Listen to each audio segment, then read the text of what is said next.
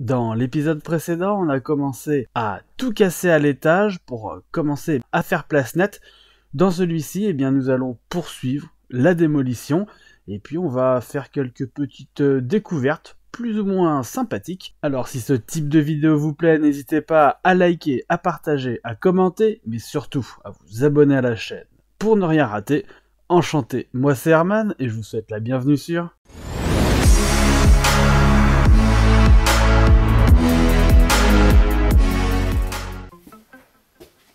Bon, alors, euh, dans l'idée, dans l'idée, c'était pas non plus quelque chose de dramatique de pas avoir la lumière, parce que j'aurais très bien pu éclairer avec euh, le petit panneau LED. Mais il va falloir, quoi qu'il arrive, que j'ai des prises pour brancher le matériel électrique, ma scie sabre, etc. Donc euh, voilà, quoi qu'il arrive, il va falloir que j'ai de l'électricité, donc autant le faire tout de suite. Alors, qu'est-ce qu'on va faire? Bah là, on a les deux petits tableaux électriques. Alors c'est vraiment, euh, ça a été bricolé et rafistolé et, et modifié au fur et à mesure. Donc ça, il y avait un premier tableau ici, il y en a un deuxième que le second propriétaire a fait pour un petit peu remettre aux normes l'électricité, surtout au niveau euh, de la salle de bain. Et donc euh, voilà, moi je vais pas m'embêter. On a ici le compteur, là, le disjoncteur principal et je vais directement suivre les fils qui partent de ce disjoncteur qui arrivent euh, tous là-dedans apparemment et puis on va tout recabler.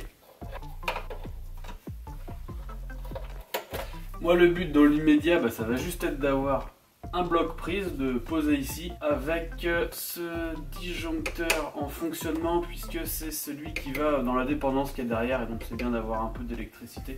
La lumière et tout c'est pratique donc je vais juste le garder aussi. Mais sinon tous les autres ils me servent plus à rien. Je vais juste en garder un du coup bah, pour pouvoir mettre une prise. Sûrement un 20 ampères comme ça. Hop, je pourrais euh, mettre des bons outils dessus. Alors, bah c'est pas dégueulasse n'a pas été euh, câblé n'importe comment. Le seul truc qui me plaît pas trop, bon bah c'est que ça a été câblé un peu à l'ancienne. Hein. Ici normalement on a directement des barrettes qui viennent relier tous les disjoncteurs pour amener la puissance. On n'a pas logiquement de, ponts qui sont faits avec du câble comme ça. Ça se fait pas du tout ça maintenant. Et euh, voilà, c'est le seul truc qui est un peu bof, sinon après dans l'ensemble. Finalement pas trop mal. Là on a un repiquage ici qui va directement à ce boîtier là. On va euh, bah, l'enlever ça parce que ça sert à rien. Je vais pas m'en resservir. Putain, ça veut pas venir cette merde là, ça me casse les couilles. Il y a forcément un truc qui vient faire chier à un moment, c'est extraordinaire ça. Oh là, il y a de l'eau là-dedans. Il y a de l'eau dans les tuyaux, mais c'est génial ça. Ok, c'est bien, c'est sécurisant. C'est pareil, ça, ça me casse les couilles. Pourquoi tout est grippé là-dedans Grippé, les vis foirées. Bon, alors après avoir fini de rouspéter et de galérer, eh bien euh, j'ai réussi à euh, me positionner un petit câble que je suis venu dénuder, j'ai ensuite euh, bah, branché la prise, et voilà le résultat. Bon, après pas mal de batailles, euh, parce que c'est un petit peu branché n'importe comment, un petit peu beaucoup même. C'est pas trop dans les normes là. Euh, j'ai réussi à refaire un petit branchement, il y avait des fusibles de mort de toute façon là-dedans, donc je les ai tous virés. Et je suis venu me brancher là, et logiquement on a l'électricité. Je vais tester, j'ai la box à côté là, on va voir si ça marche. Alors déjà, si j'allume c'est mieux, et là... Et eh ben il y a du jus, donc c'est parfait. Nickel. J'ai plus qu'à mettre ma rallonge et puis bah je vais pouvoir continuer à nettoyer. Mais je vais pas faire ça maintenant parce qu'il est vraiment trop tard et que je suis claqué, alors je vous donne rendez-vous directement le lendemain.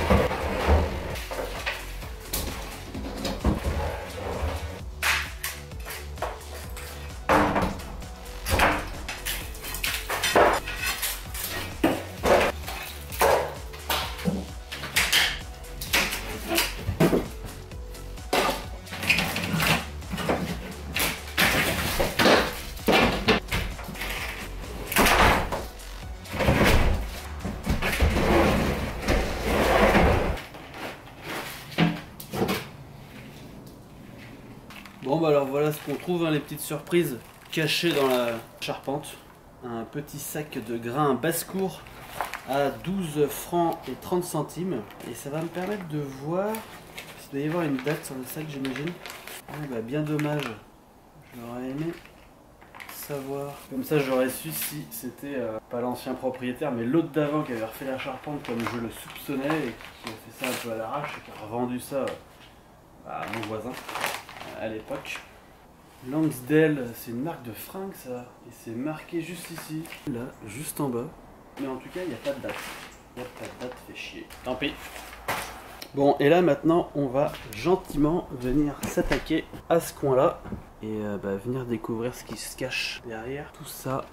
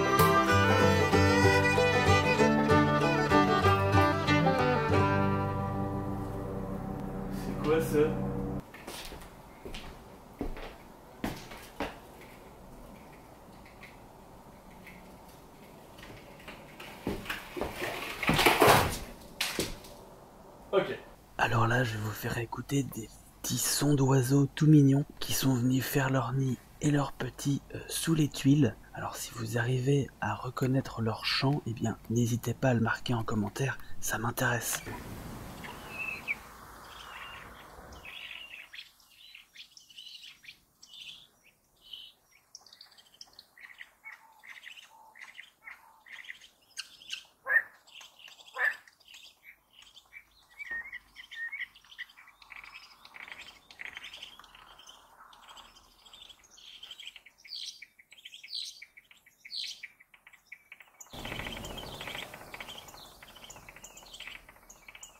C'est assez, euh, assez marrant. Je préfère avoir des oiseaux que des souris, hein, très clairement.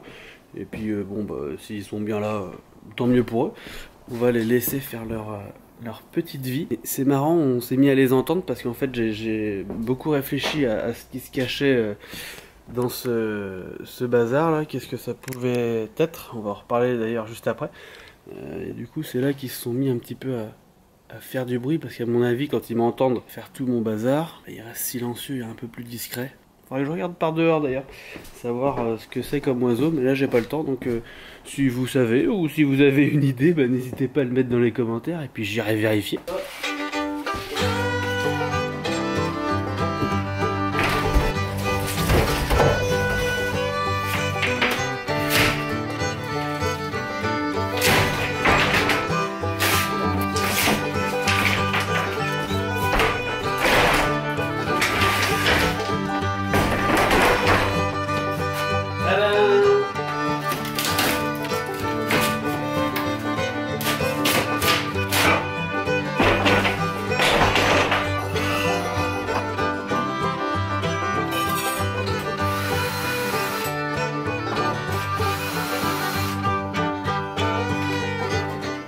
Savez quoi, je les aime bien ces petits globes, alors du coup je vais les garder.